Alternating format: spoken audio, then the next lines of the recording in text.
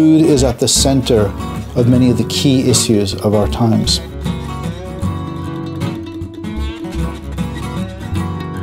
Food is fundamental to human life.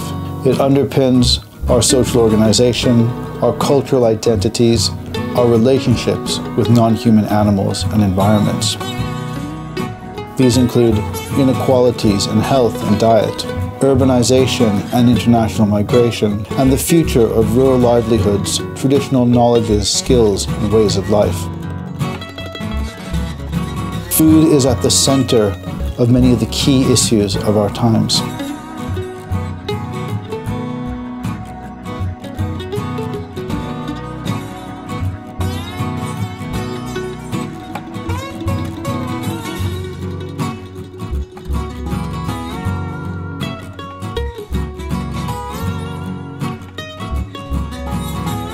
So do not forget to subscribe Foodie Eyes and get the best food history videos on your main screen. Thanks for watching, see you on the next.